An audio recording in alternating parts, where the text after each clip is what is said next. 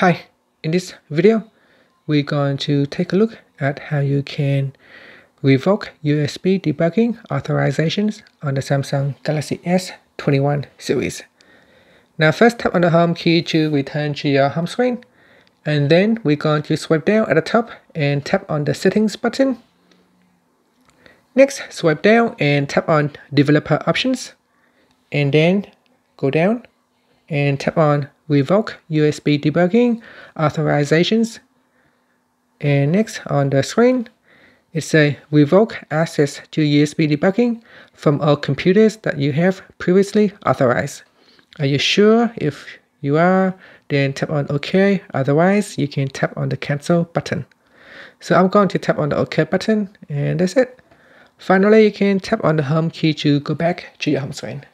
Thank you for watching this video. Please subscribe to my channel for more videos.